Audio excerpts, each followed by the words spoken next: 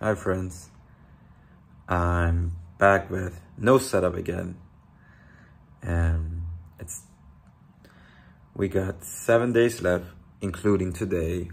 So it's day 94. So we have 700 push-ups left. Uh, just came back from a long drive home and I just want to get these push-ups done guys next week when day 100 comes I'll be working somewhere but I'll be home. But that one has to be a special one. I'll do a nice video about that. Or what does it mean nice video? But I'm not gonna like just like be like all right let's get the 100 done get him out of the way. But today let's just get him out of the way. If you know what I mean. All right you know, maybe you can feel me.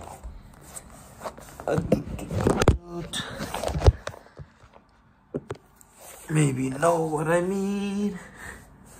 Let's go.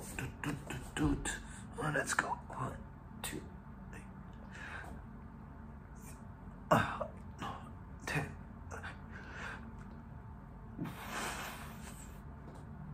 Uh,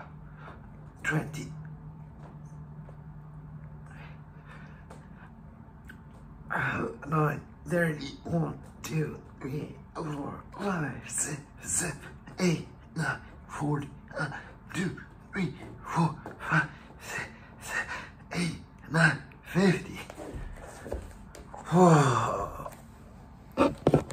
you know, uh, my body's just hurting.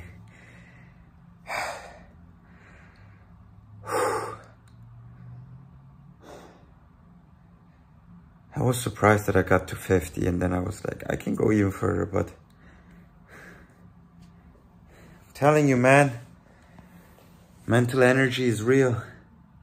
Mental stamina is real. If you have to waste energy on nonsense things, then as an athlete, you will be able to push your body less. Unless your mind can take the pain. But why start with a disadvantage and have your mind work with less energy? Why not give your mind more energy? So it's just a little rant right now. But uh, if you want to perform, like if you want to perform physically, you got to make sure that all you do is focused around your sport, your activity, and then everything else gets like secondary. Um,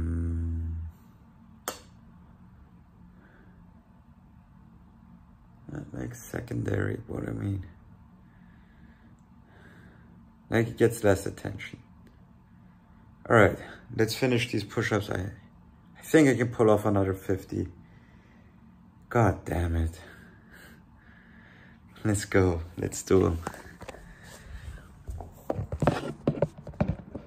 Mm -hmm. All right, let's go.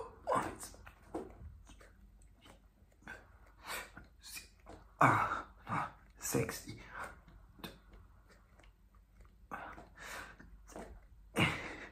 Seventy.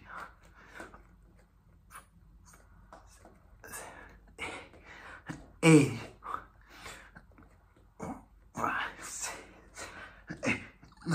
Ninety-one. Four, five, six, eight, nine, one hundred. Fuck me. Ah. I'm done. I guess see you tomorrow. Tomorrow I'll be home.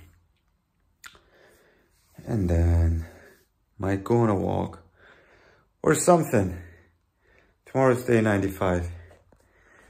We're almost done. We're almost done. Let's go.